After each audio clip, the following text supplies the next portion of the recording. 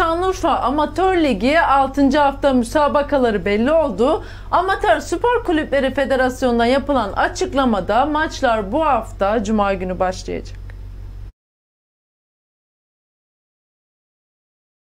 Şanlıurfa Amatör Ligi 6. hafta müsabakaları belli oldu. Amatör Spor Kulüpleri Federasyonu'ndan yapılan açıklamada bu hafta oynanacak olan maçların programı açıklanırken maçlar Cuma günü başlayacak.